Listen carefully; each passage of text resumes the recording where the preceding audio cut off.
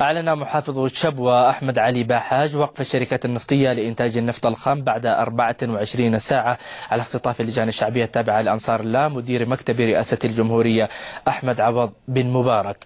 ونقلت مصادر إعلامية عن باحاج قوله إن الشركات النفطية في المحافظة أوقفت طوعيا عملها في جميع أنحاء المحافظة عصر اليوم استجابة لدعوة وجهها زعماء قبائل المحافظة احتجاجا على اختطاف بن مبارك مطالبين بسرعة إطلاق سراحه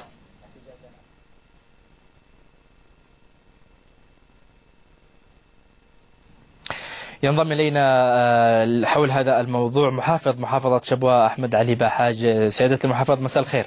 مساء النور. ما صحة ما نسب لكم بأن الشركات النفطية أوقفت عملها بالكامل في محافظة شبوة احتجاجا على اختطاف بن مبارك.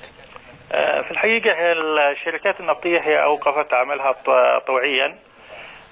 هناك كان احتكان شديد جدا في المحافظة من قبل يعني كل أبناء المحافظة وشخصياتها الاجتماعية وسلطتها المحلية والمسؤولين فيها. وبدأت هناك تحركات قبلية للتوجه إلى الشركات النفطية لإيقافها يعني بالقوة.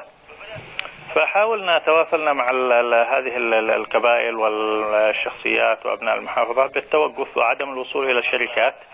وأعطانا فرصة ل يعني التواصل مع الشركات. فعلا تواصلنا مع الشركات النفطية وقلنا لهم إن هناك احتكان شديد وإن القبائل يعني مصرين على إيقاف الإنتاج يعني احتجاجا على اختطاف الدكتور أحمد المبارك.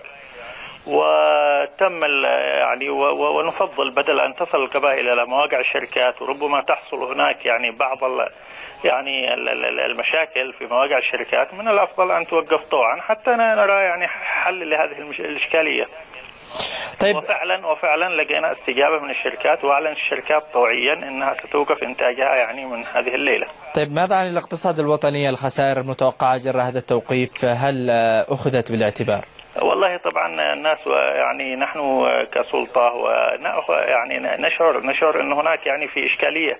لكن يعني ال ال ال ال ال الناس يعني هناك في تذمر كبير جدا لدى أبناء المحافظة.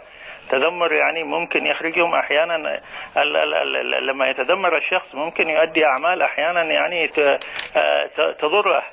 فحقيقة يعني نحن طالبنا المواطنين إنه بعدم الوصول إلى الشركات وعدم يعني حصول أي مشاكل من من نفضل بقائهم بعيدا عن الشركات والشركات طيب ستوقف الإنتاج. سيادة المحافظ ماذا عن العودة؟ هل تقرر أي شرط لكي تعاود هذه الشركات الانتاج؟ والله هو نحن منتظرين يعني الشرط الأول هو إطلاق سراح الدكتور أحمد بن مبارك لأنه حقيقة كرمز وطني يعني غير عادي، رجل يعني مدير مكتب رئيس الجمهورية، رجل أمين عام مؤتمر الحوار الوطني، رجل معروف بسلميته.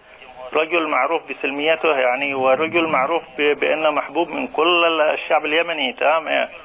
يعني فكان المطلب الأول هو يعني إطلاق يعني نعم. سراح الدكتور أحمد المبارك. اذا الأستاذ أحمد علي بحاج محافظ محافظه شبوة أشكرك جزيلا.